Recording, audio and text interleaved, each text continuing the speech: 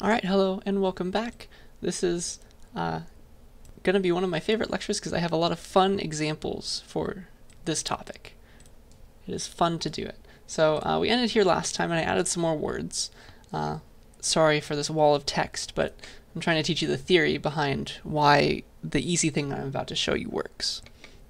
Okay, so uh, the key idea for all this stuff that I was saying before, the fact that IFS can be treated like a Boolean value, you can use it as the condition of something, uh, what it means when it's a Boolean value, it means that it's okay, you can still read from it. Uh, this entire expression, the last key thing, if you say IFS, please read for me something from IFS, that actually evaluates to IFS itself. Let me prove that to you. And again, this is more words. I'm going to show you an example. Don't worry. You say operator input. It does something. It gets you a, a, something. It returns itself, which means that's as if you said if IFS and you just tried to read something. So this will tell you if the read operation that you just tried to do succeeded, if this evaluates to true. If so, you can do stuff with that S that you just read into. So you should say, while IFS reads something, could be a line, say ifs.getLine, you can say ifs read some integer, read s, read a word. Use this to read valid lines of an ifstream object, of a file. Okay, so I'm going to give you examples of this, don't worry. Uh, this is all going to be okay. So uh, the next thing I want to do is, uh, before we get there, before I give you that example, I want to uh, give you a nice way of thinking about IF streams. You can pretend that they're like Microsoft Word or Google Docs, whatever you just, whatever you use to write essays, like even PowerPoint. There's that little cursor that's going to tell me where, if I start typing, it's going to go. So IF streams essentially use cursors. So this starts the cursor at the beginning of the file. So right after this line, I say, hey, please open this file. It's going to tell me, okay, yeah, I did it. My cursor's sitting here, and that's where I'm going to start reading from. Okay? And so that's why you can keep saying IFS get a new thing, get a new thing, and it gets something different because it has moved its cursor. Okay, this reads a line and moves the cursor. It reads a, reads a word.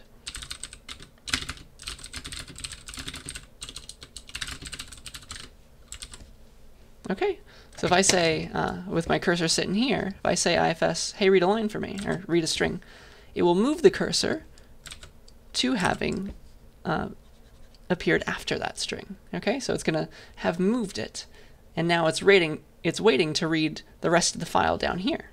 Okay, it's sitting right here. This is where its cursor lies. Okay, and so then uh, you say it one more time. It's going to read starting right here. It's going to eat up the new line and then read this word and move the cursor to sit right here. Okay, so it just read bar the second time. And then it's going to read baz in the same way, and the blah comes after.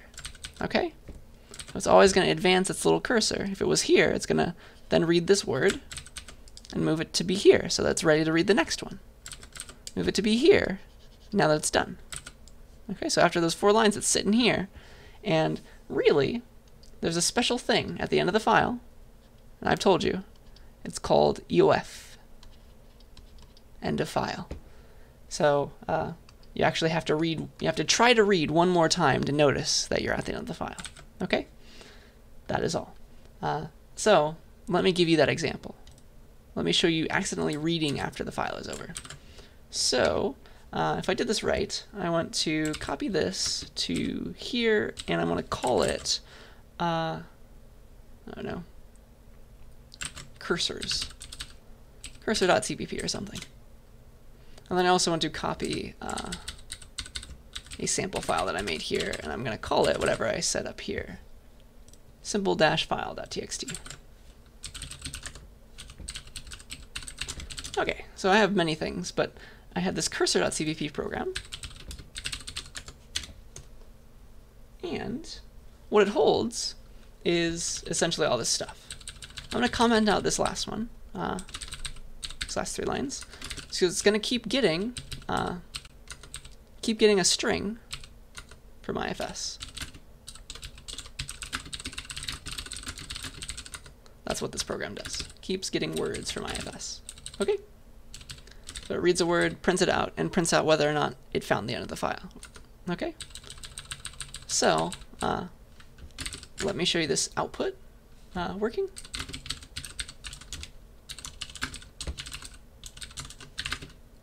Oops. And cursor.cpp, cursor. So I'm to give it uh, sample, what was it called? Simple file.txt. So it's going to read those four words, move its cursor, and it's going to say that it hasn't found the end of the file, even after the fourth read. Okay? This is the file. Uh, foobar baz blah. Just as, as it was. So the reason it hasn't found the end of the file yet is because the cursor is sitting right here at the end still. Okay? You need one extra read.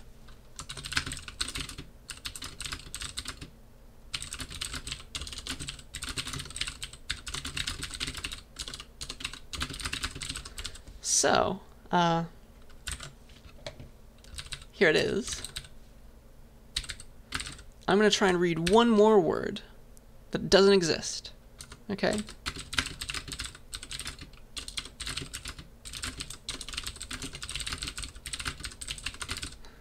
And so it's going to say what it read, and then it's going to say if it found EOF.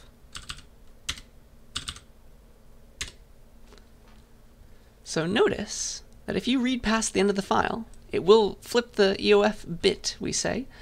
Uh, so it's finally true. It noticed that it read the end of the file, and if you were to say, uh,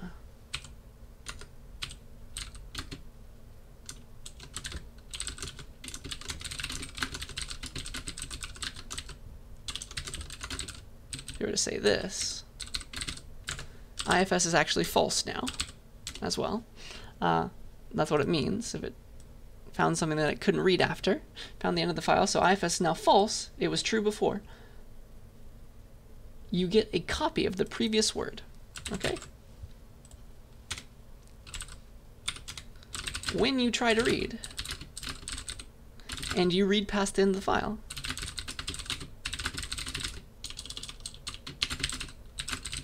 your variable doesn't get reset.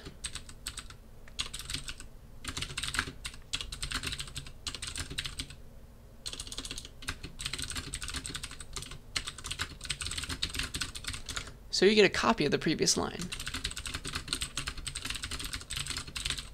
Because it's still sitting in there. It didn't get changed or anything to get set to null or empty string or something like that. So you need to be very, very careful.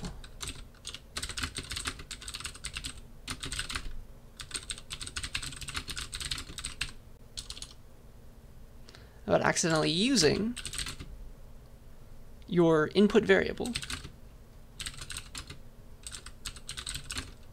when you read uh, close to the end of the file.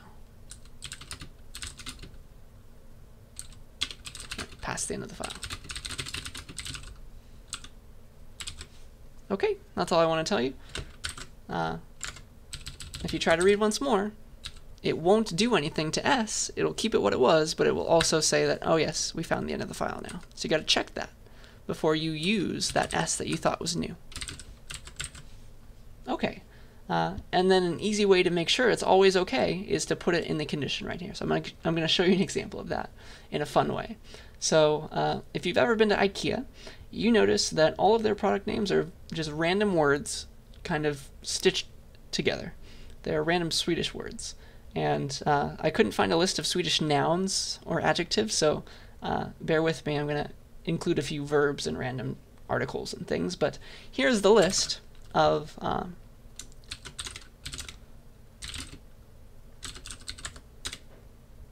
a thousand of the most common Swedish words. Okay? So we're going to find two random ones. We're going to read this file and get two random Swedish words, and uh, we're going to stitch them together, and that'll be our new IKEA product, the new hot IKEA product of the of the year. I think I should get rid of all the things with spaces in them now. Oop.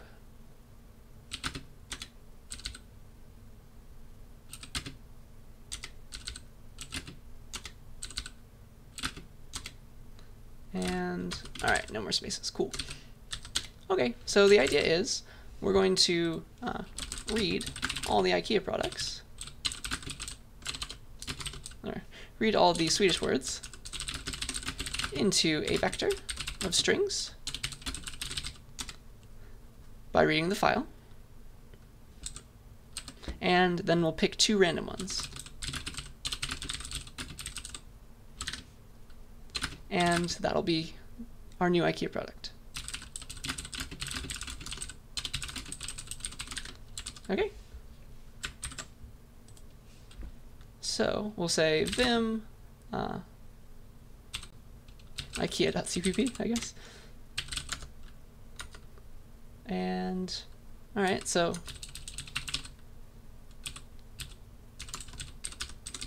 fstream string. Here's how we're going to do it. We're going to take the name of the file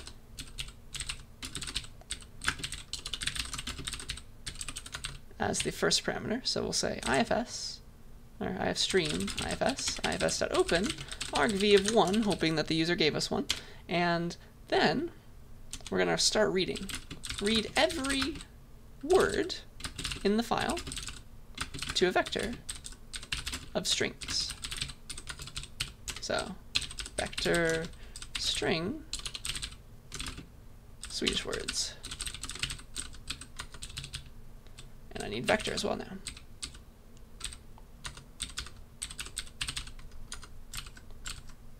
Oops. Okay, so we're going to read every word in the file, and I've told you that this is going to work while ifs get a new string s. This will always read a valid line, okay? Because ifs s, this whole thing, if I put it in quotes, it always wants to double them, this evaluates to, uh, well, it first gets a string, and then evaluates to IFS, so it's as if we were checking whether or not it was true.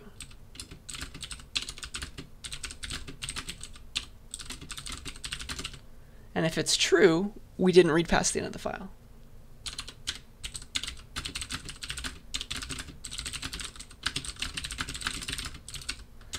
Therefore, we have a valid line once we hit the body.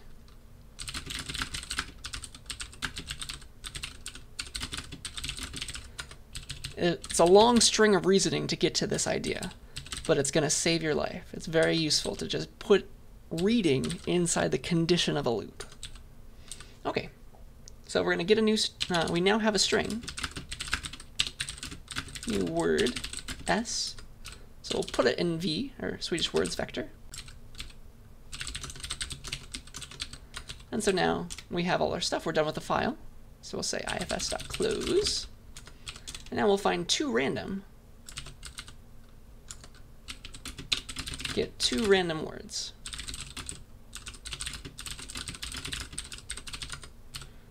And so one way to do that is to use randomness. So we'll say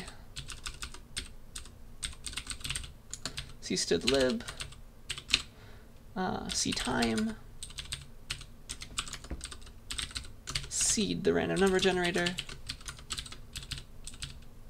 and then get two random Swedish words. So string s1 equals, I guess, who knows, Swedish words dot at go into the vector somewhere, some valid index into the vector, which is, well, it's some random number modded by the size of the vector.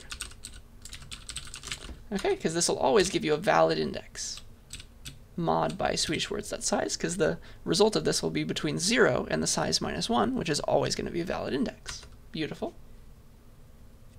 Something that's non-empty. And we'll do the same for S2. And then we'll just plop them together. Maybe we should capitalize S1. Uh, there. Product name at 0 equals uh, 2 upper. s1 And we need cctype for that, right?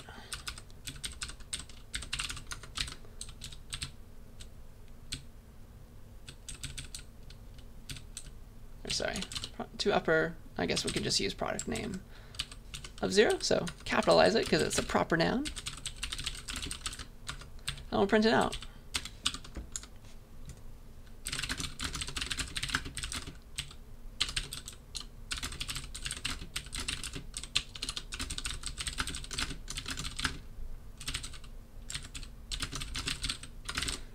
Okay.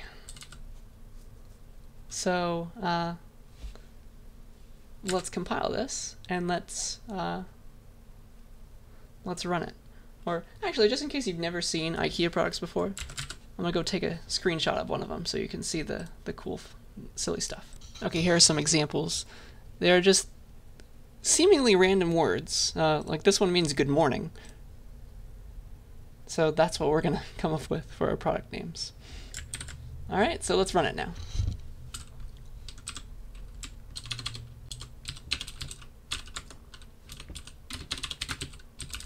And remember, we have to give it the name of the file that we want to use. So we've got to give it swedishwords.txt. Technically, it's just getting two things, uh, two strings, capitalizing one.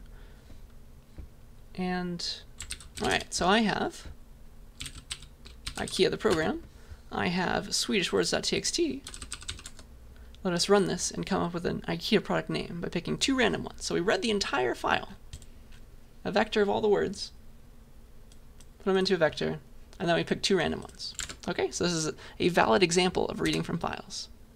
All right, so there is our new product name. That honestly sounds like it could be from IKEA, right? And you can just keep on trying these until uh, you find one that looks like uh, something that you can market. Okay. That's fun. Uh, the next fun thing that I want to do is translation. So let's read our favorite song's lyrics and translate some of the words. This is another example of reading from a file. Again, words at a time. Uh, you can also do line by line if you wanted to.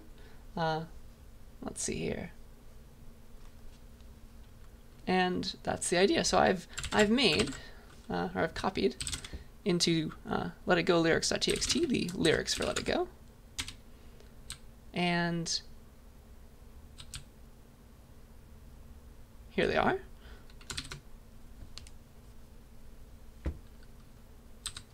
let us read all of those and then translate some of them. Okay? So again, uh, we'll use most of these, uh, most of these things, I think.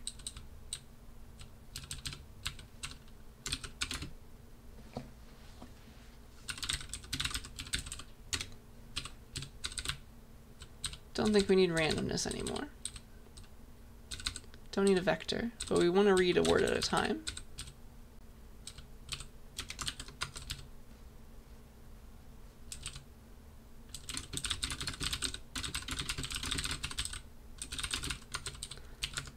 So we want to say uh,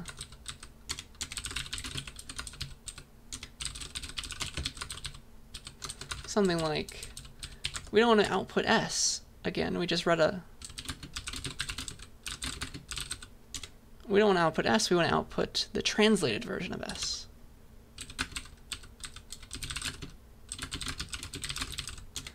So we'll say uh, cout S, and then let's just do a space for now. But not S, but translate S. And here's my translate function. It gives back a string. And it takes a string. I guess we can be fancy, we can take it by constant reference because we're not changing it. Uh, and right now, let's just pretend we don't know how to translate anything. We'll just say return s. So right now, we have a very bad translation program. So let's let's run this now. Uh,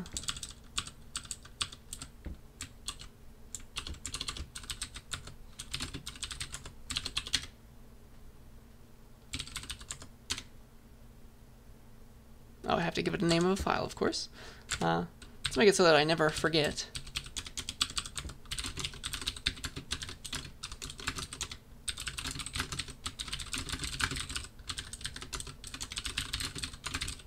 There. Now if I do it wrong again, it will complain. There. So let's run it with uh, let it go lyrics.txt. And it's just reading every word and spitting it right back out to us. So uh, we want to translate some of these words. And this would be the fun time in class where I'd ask you what languages you speak so that we could put some pieces of you in this program. Uh, but sadly, we are not together. So I'm just going to pick some words and some languages, and we're gonna we're just going to roll with that. So uh, it's always going to be from English. And then we're going to translate to some other language. So let's look at these. How about snow? We can translate that to another language. Uh, if you know Spanish, snow is nieve.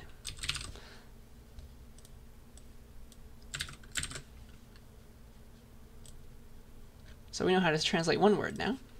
So if it's one of the words we know how to translate, if s is equal to, oops, oh no. How am I to do this? If s is equal to, how did it paste?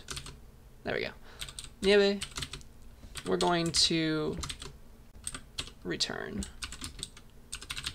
Oh, sorry. I'm to return nieve if s is equal to snow. Excuse me. and I've just been getting used to typing IFS too much. There we go. So now else. Uh, we didn't get there, we, we had nothing else to do, return S. So now it says, the nieve glows white on the mountain tonight. All right, let's, uh, how about we, nouns are easy. Let's translate white to another language. Uh, how about, I don't know, a non Romance language. How about German?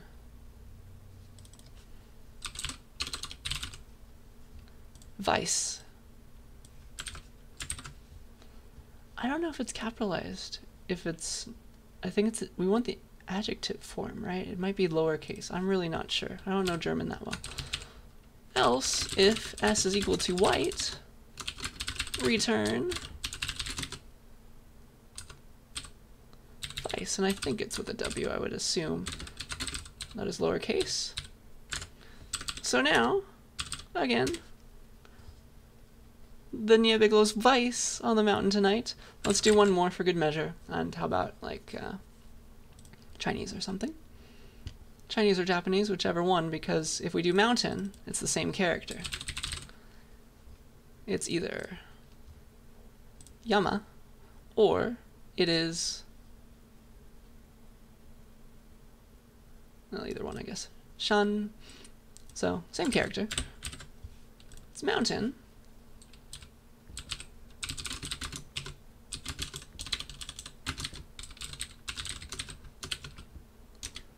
Return Shun or Yama.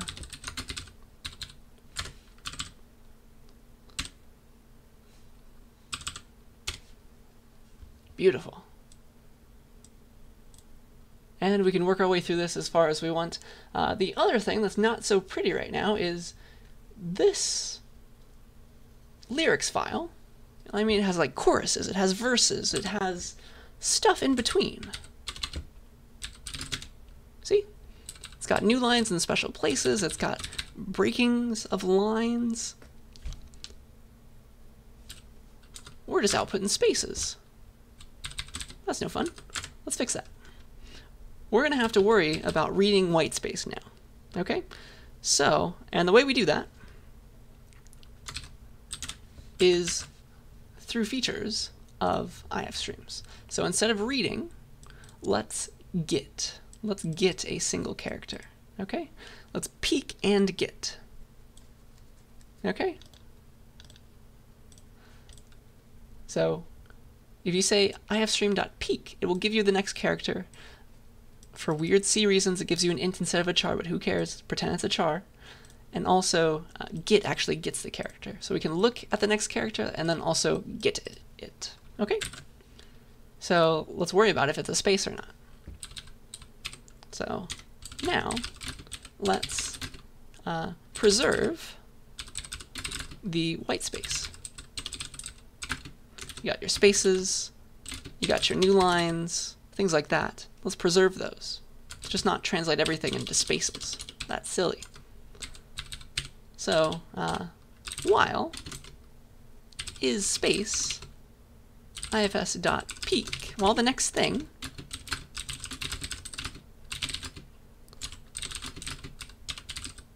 the file is a space.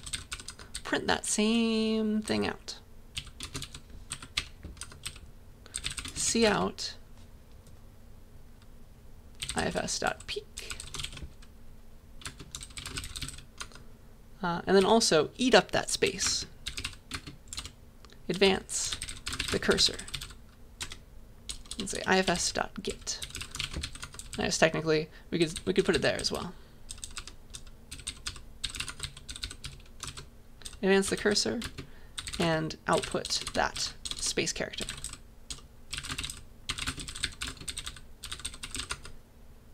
because if you can see my cursor right now, peek sees like I'm right here on uh, char. If I go after char, the next character is a space. If you can see me moving that. Uh, and if I peek it, I haven't moved the cursor. But when I get it, I get the space and move the cursor. Okay, that's the idea for that. And uh, we don't also want to read past the end of the file. So while ifs is true and we can look ahead uh, do all this stuff. And that should be that. And it doesn't want me to put another brace anywhere else. Okay. Uh, that should do it, I think. That should preserve the spaces, assuming I re recompile this. I have to press up too many times. Oh, hello. And this looks weird because I'm outputting ifs.get, which returns an int for no good reason. It's supposed to be a char, dude.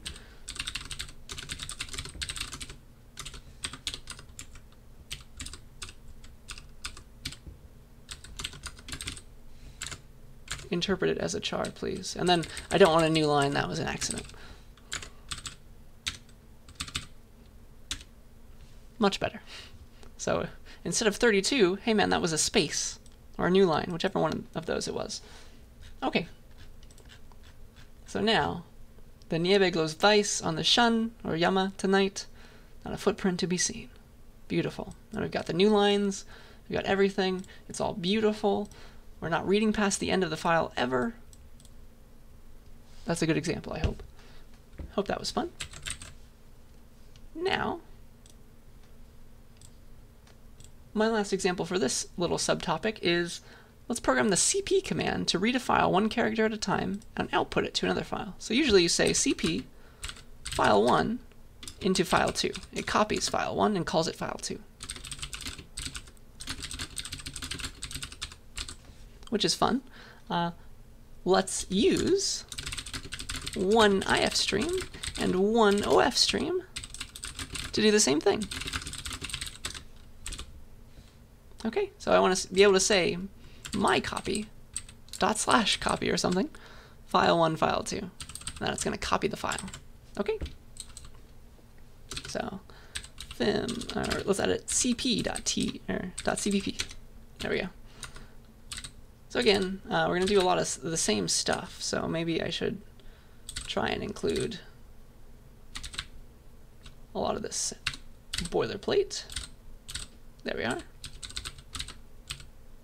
Don't need randomness. Do need an IF stream. Uh, I also need an OF stream.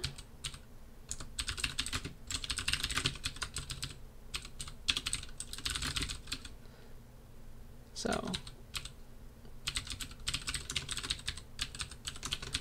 So argv1 is the name of the file we want to copy uh, for input to read it, and then open the file we want to copy to, copy into for output. We're going to write to it. Okay, so uh, let's do it a character at a time, and that's going to require using get. So get a character from an IF stream.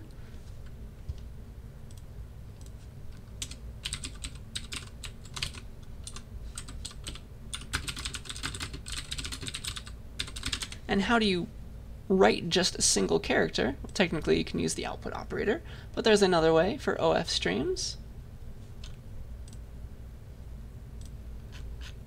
You can either use the output operator, or you can use put to put a single character. Oops.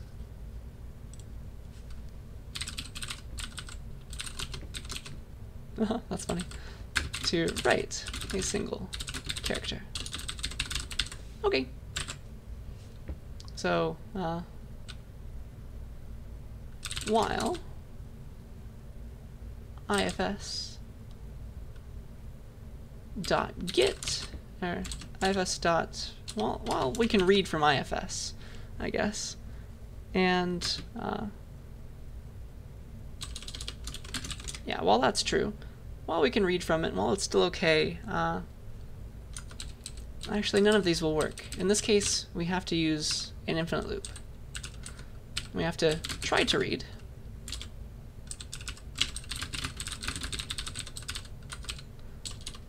char c equals ifs.get, and it might have not worked.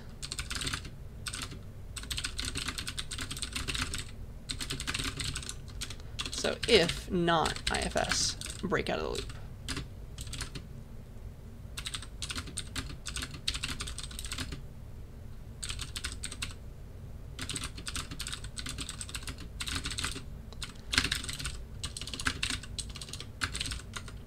Okay.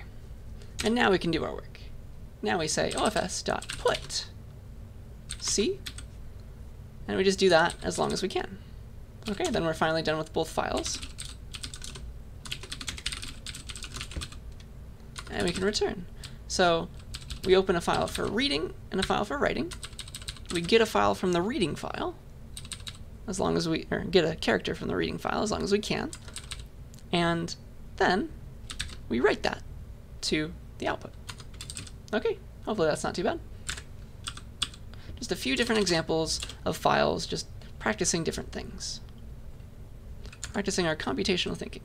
So, I'm to call it CP, and uh, I guess that'll be that.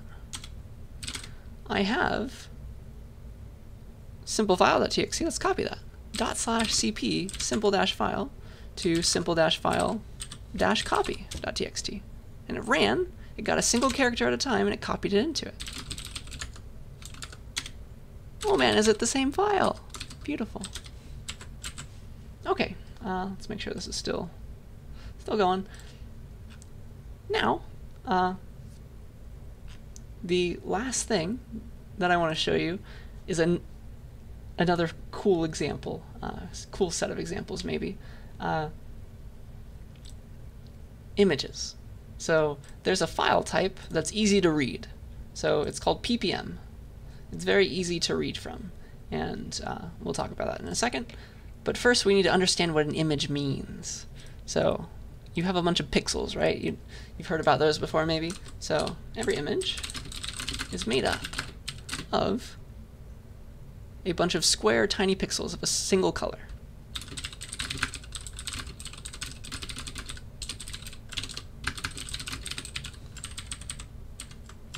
That's the word pixel. Each color is represented as a triple of ints between 0 and 255. They mean red, green, and blue. How much red, how much green is in the color, how much blue is in the color. And uh, RGB stands for red, green, blue. It's an additive color uh,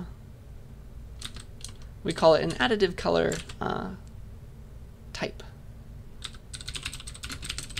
I don't know what noun should go there, but the idea is if you have green and you add blue to that and then you add red to all of that, that's all the colors together, which makes white, right? And so all the colors, 255 of all of them, so as much of each color equals white, and none of it, none of any of those colors, makes black. Okay, so that uh, is RGB in a nutshell. And so if you wanted red, you wanted pure red, you'd say 25500 because you want all the red. Red comes first. No green, no blue. And obviously you can combine these and create every color that's being displayed to you right now, or most of them. Uh, obviously, if you had more numbers, you could represent more colors, but these are good enough for most of our purposes these days. Okay, uh, grayscale is the other last thing. If let's pretend we have RGB, that's our uh, this is our color that we currently have. How much red, how much green, how much blue. If they're all equal, if uh, R equals G equals B, then you have a gray. That makes gray. A shade of gray. There's 255 shades of gray. 256 shades of gray in uh, RGB. Okay, so black is of course a shade of gray, white is of course a shade of gray. Uh, things in between, 16, 16, 16, that's gray. It's closer to black, so it's probably a dark gray. Then we have like, I don't know, 95, 95, 95, that's like in the middle. It's a light-ish gray, and then you can do whatever you want with that. So you've got any color that you want, combinations of RGB values, black and white, all of each color and none of each color, and then grayscale. Okay, now we're ready for the PPM format. It's a file type that stores images. So you give the RGB values and some extra stuff for those, and uh, like how wide, how tall the image is, as text. So here is, boop, if I go to lecture 20 in my file browser, here is a picture of my cat in the ppm format. Uh, if I do vim cat.ppm, there it is. And here is my cat with some color things around it. Here's Lonzo laying on my running shirts. So we're going to use this file to do cool stuff. We're going to convert it to grayscale, convert it to black and white, things like that. Okay, so uh, let's figure this out. What does this look like in pixels? So this is a, uh, the first line is always the same. It's P3. It's the name of the file type. It's like, all right, we're using PPM with RGB values. Then we give the width and height of the file. I think, I guess the width comes first because it's taller than it is longer. Uh, and then you say 255, that's the max color value. So it, everything goes between 0 and 255. And then you start giving each pixel in order. Okay, so the top left pixel is going to be this one, 38, 8, 24. Then the next one is 41, 13, 30. So it's 41 reds, 13 greens, 30 blues. And all of these together make up this picture of my cat because it's all text, it's very, it's not very compressed. Like if it was a JPEG, it'd be like 2.2 megs. Uh, but now it's like 5 megabytes. But that's okay, we don't care. So we're going to read this file and do cool stuff. Uh, probably should have called it something else, but that's okay. So let's let's get this file. Let's get all the pixels. Uh, this is going to be fancy. So we're going to have to read this file in a special way uh, and write another file. So let's get the files at least. Uh,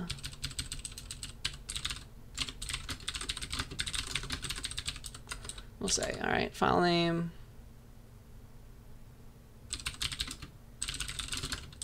You can convert it to a string, uh, one, and then output file name.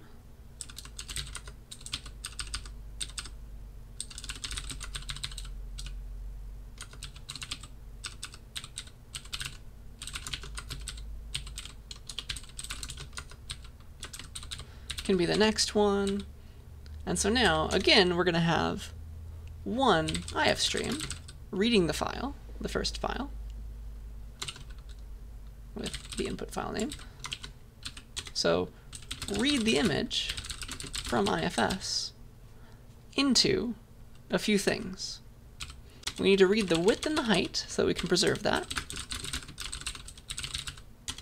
And we need to read each pixel. Okay, so this is a very in-depth example of programming. I'm obviously not going to test you on any of this. It's just a fun example of reading files in order. So the first line is always P3, so we can skip that one. We can say, uh, we can use getLine for an input stream.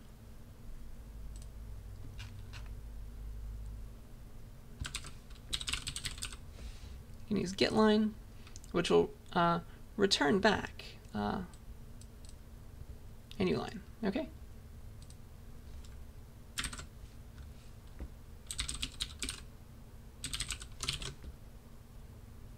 Okay. And I think I might have to use uh, getLine IFS into a string. That one will work. Just pretend it was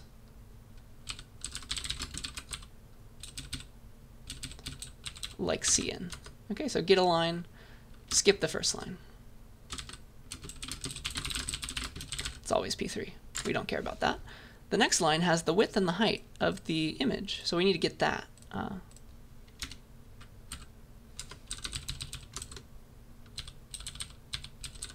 so then we have a width and a height, because our cursor is now sitting right here, because we just read the first line in its entirety. Now we're sitting right there, ready to read the width and the height. So let's read those. Uh, IFS width, read the width, read the height. Okay? And then uh, we're good there. Uh, break, get to the end of the line and break it.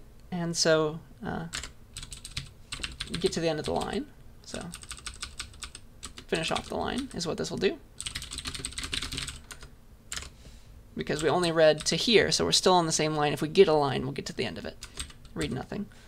Then 255 is always the same, so just skip that line as well.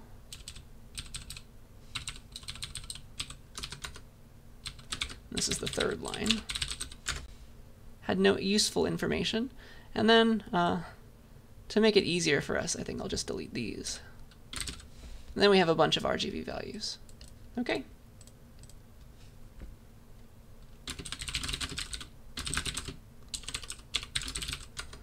Okay, so as long as we can now, we're going to read three RGB values. And if the file was correct, we know the size, but we can also check for things. Uh, we can say while IFS is okay to read from, perhaps, uh, or while true, or a few things. Let's start with this one at least. We'll say uh, IFS, let's read three things at a time, three ints int r, g, and b. Let's read from IFS, r, g, and b. And if the file is arranged properly, there's always going to be three things on a line, so we can confirm that as long as we can read from IFS, we should be okay. This might go bad on the last line, though. So if not IFS, break and don't do anything. Okay, so we had a valid line, and we just read an RGB value.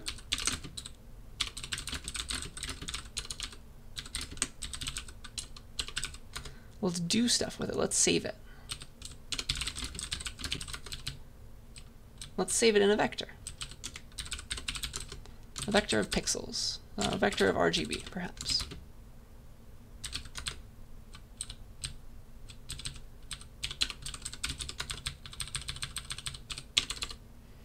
pixels.pushback.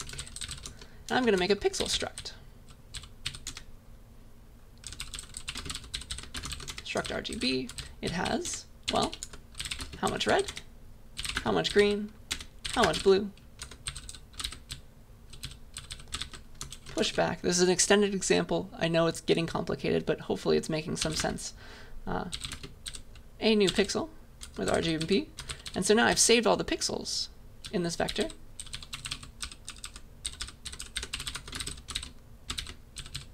This seems to be okay for now. Uh, now we're done with IFS.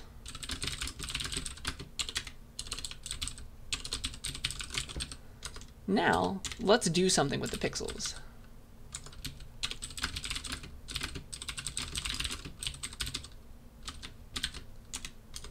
Let's go through each of them. So for uh, RGB pixel in pixels, let's edit that pixel to do some cool stuff, and then we'll write back the file. Okay, so the next thing I want to show you is converting one to grayscale or black and white. So when you have an RGB value, let's say it's like, I don't know, 15, 27, 85,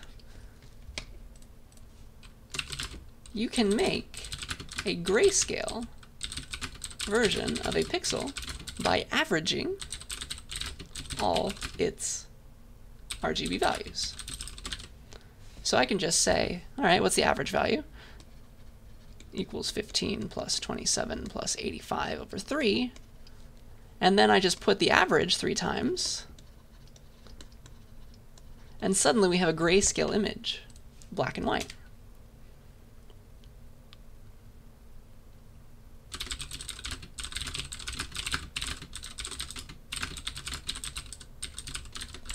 This is really cool stuff. So, all right, let's change each pixel to be grayscale. All right. And okay, the way we're going to do that is find the average pixel value. Average equals the current pixels red plus the current pixels green plus the current pixels blue. All of that over 3. And so I got to go back here. Do that. And then we're going to replace those things with the average.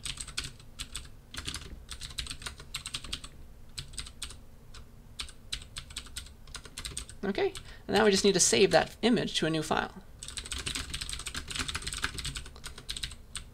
So, we have the output file name. Let's use an OF stream now, finally.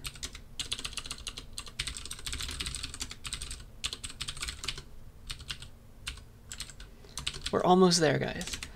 Okay, uh, then we're going to close it once we're done.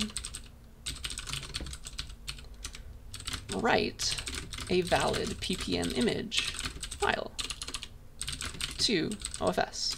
So remember what it means to be a valid one. You first have the line p3, then a new line. Then you have the width and the height with a space in between.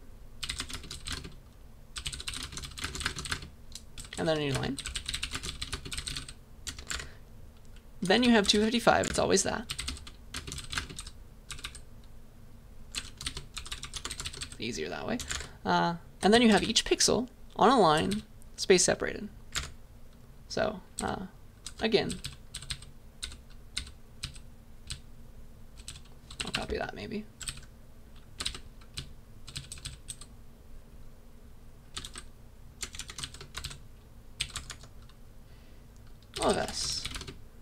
Pixels red, space, the pixels green, space, pixels blue, and then a new line. And that, if we didn't mess it up, converts an input image here, we read it into the pixels vector, we changed each pixel to be the grayscale version, and we're going to save it back out into a new file, hopefully in the correct format, Let's see if anything went wrong. So we're going to call this uh,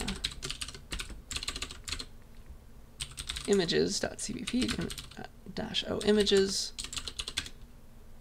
dot slash images and we'll say cat dot ppm and the output's going to be cat gray ppm There it goes, doing things. Hopefully it doesn't run into an infinite loop.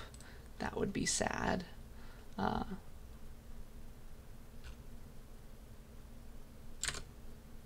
it actually completed. It just took a while. Now, I'm very curious if we did it right. I don't trust myself.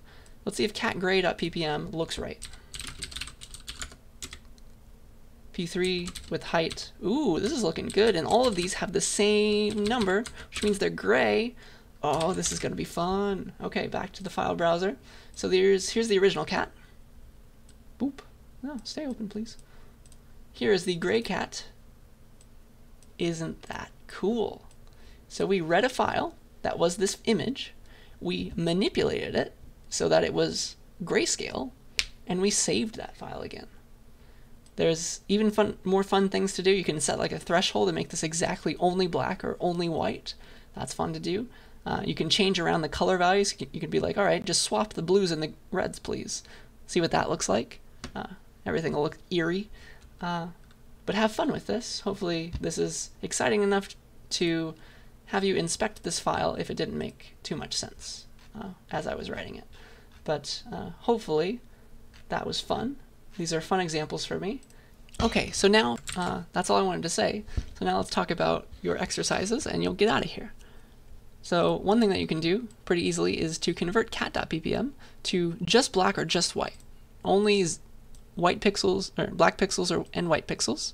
And you'll have to do that. You'll have to do that by setting a threshold based on how light the current pixel is that you're looking at. And there's a bunch of there's a bunch of different ways to do that. Uh, feel free to ask me if you're interested. Uh, some other optional exercises. Write a program that keeps on getting a line from the user, and then it appends that line to a file. As long as the user keeps typing, it keeps writing that line to a file. Okay, so you have to use getLine for that.